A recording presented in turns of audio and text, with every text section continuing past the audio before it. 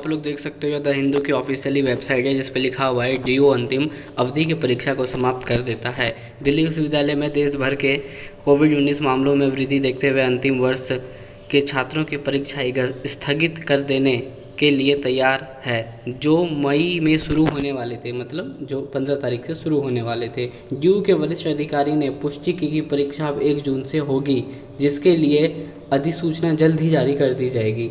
Due के dean of examination D S Rawat ने कहा, शनिवार के सभी विभागों को प्रमुख और डीन के साथ बैठक हुई मतलब बड़ी बैठक हुई ये। बैठक की अध्यक्षता कुलपति ने कहा, जो सबसे बड़ा होता है उनमें से, कि यह निर्णय लिया गया है कि अंतिम वर्ष के छात्रों के लिए, जो लास्ट ईयर के छात्र हैं, परीक्षाएँ वन जून को स्थगित कर दी जाएगी। मतलब वन जून के लिए उन्हें टाल दिया गया है। एक जून से उनका एग्ज़ाम होगा। सोमवार को इस बारे में अधिसूचना जारी की जाएगी। मतलब जो आपका ड्यू सोल का वेबसाइट या ड्यू का वेबसाइट है, उस पर ये जानकारी आपको दे दी जाएगी। अधिकारियों ने कहा कि परीक्षा ऑनलाइन मोड में ही आयोजित आयोजित की जाएगी और बाद में अन्य बैचों के बारे में निर्णय लिया जाएगा। मतलब ये जो एग्ज़ाम होंगे, वो ऑनलाइन होंगे, बाकी जो बच्चे बचेंगे, उनका क्या करना है, वो बाद में निर्णय लिया जाएगा। उन्होंने कहा, मध्य बैच के परीक्षा अभी रद्द कर दी जाएगी। जो सेकंड सेमेस्टर के हैं थर्ड सेमेस्टर के हैं, इनकी जो मतलब अभी परीक्षाएँ हैं, रद्द कर दी जाएगी।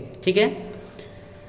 इस पर फैसला बाद में लिया जाएगा। मतलब जो, ये जो फैसला है, इनके बीच क्या करना है, इनका जो फैसला है, इन्हें बाद में लिया जाएगा। अब तक टर्मिनल वर्ष के बच्चों के लिए परीक्षा स्थगित कर दी गई है, श्री रावत ने कहा। अपील की गई।